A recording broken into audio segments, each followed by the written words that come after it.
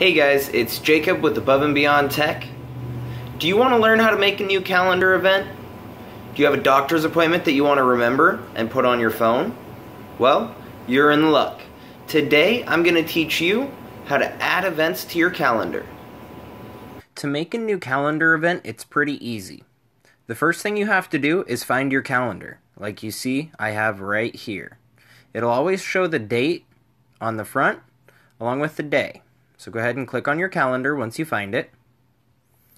Once you're in your calendar, you'll see, of course, up here at the top, this all is your calendar.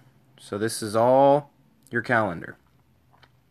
If you pull down on the screen, it shows you your list like you see here.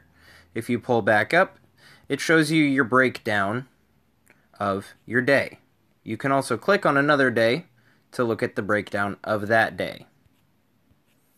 Now, if you want to make a new event, you just press this plus button right over here in the corner. You choose what you want to title it, so I'm going to title it video. And then we can choose when we want to set it. Let's go ahead and set it for, let's go November 3rd at 8 a.m. just because. It's attached to my email account, so I'll see it on my email as well.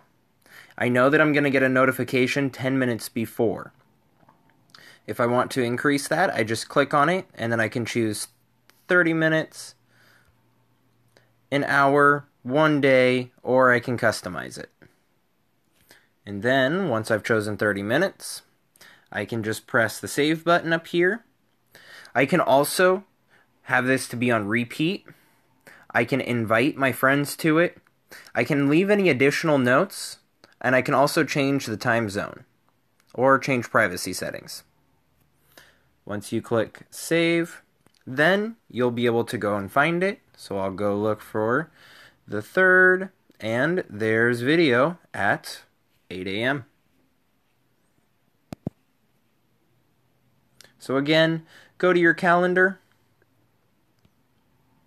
press the plus button in the bottom right hand corner, give it a name, change the time, choose when you want to be notified, and click Save. I hope it's pretty easy to add a calendar event. Let me know in the comments below. Also, just so everyone knows, today's the last day of getting smarter with your smartphone, the Android basics.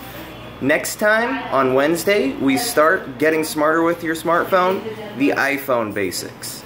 So if you know anyone who has an iPhone who needs to get smarter with their iPhone, Send them on over and we'll teach them from the beginning on. Thanks for tuning in, guys, and see you on Wednesday. Bye.